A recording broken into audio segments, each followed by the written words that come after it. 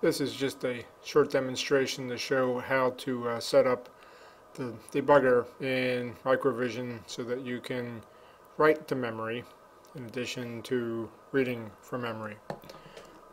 So here I have a short demo program that loads into R0 the starting address of this string and note that I'm using the technique uh, described in the top of the file comments for the string.c program.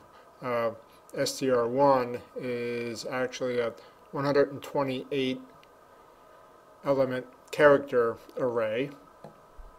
The string here is 14 characters, including the, uh, the null character terminating the string, which I then fill or follow with 114 bytes of space, so 114 plus 14 gives me the 128 bytes that I need for the character array.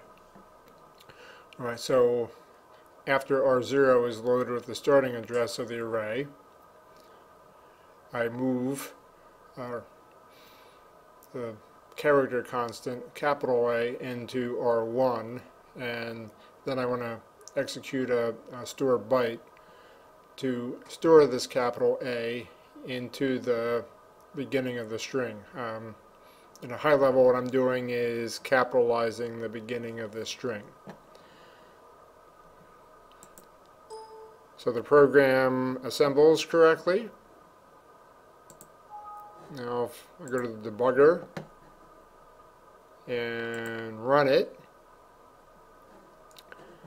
I immediately get an access violation, no write permission. So exit the debugger and um, I need to initialize uh, the debugger um, with a, a map file. So in order to do that, I click on Target Options, go to the Debug tab, and I want to specialize, uh, specify an initialization file. That file, which I've, uh, I've copied from the website, it's this map file, which I've copied into the project folder for this project. Okay, going coming back here, I'll click on this ellipsis, select that map file. I didn't need to uh, navigate to it, um, but you know if you do, just navigate to it, open it. Um, I'm done at this point, but I'll show you what that file looks like. And then just click on uh, OK. Uh, this is the contents of the map.ini file. All it does is set the entire 32k bytes we have available to us in the, in the debugger to read, write, or, or execute. So now if I go back into the debugger, that file is read. There's the contents of it. And now I should be able to successfully run the program, which I've done with no uh, access violation.